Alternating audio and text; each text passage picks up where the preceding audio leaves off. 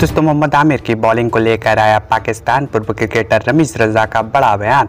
कर डाली, ये बड़ी बात तो क्या है? पूरी खबर की जानकारी बताएँगे सब कुछ इस खास वीडियो में। उससे पहले अगर आप भी मोहम्मद आमिर और साइन अफरीदी में से पाकिस्तान टीम का बेस्ट बॉलर किसे मानते हैं, नीचे वीडियो के कमेंट सेक्शन में कमेंट करके ज़रूर बताएँ।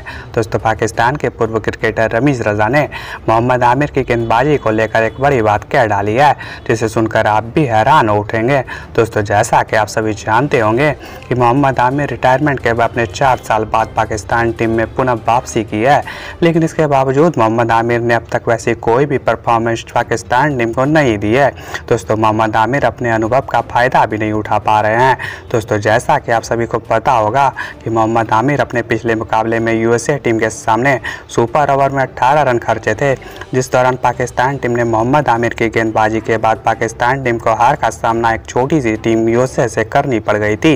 दोस्तों, मोहम्मद आमिर रिटायरमेंट के बाद अब उस तरह की गेंदबाजी नहीं कर पा रहे हैं। वे काफ़ी ज़्यादा थके थके लग रहे हैं। दोस्तों, इन्हीं सब के बीच पाकिस्तान के पूर्व क्रिकेटर रमीज रजा ने मोहम्मद आमिर पर तंज कसते हुए कहा है कि मोहम्मद आमिर का दौर चला गया है। अब उनको पाकिस्तान टीम से खेलना छोड़ देनी चाहिए।